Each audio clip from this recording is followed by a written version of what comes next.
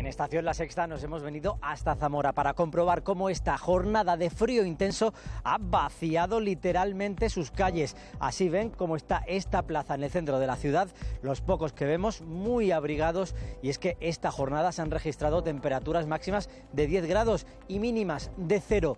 Una jornada marcada también por la niebla y atención porque mañana llegan las lluvias. Bueno, están todos avanzando.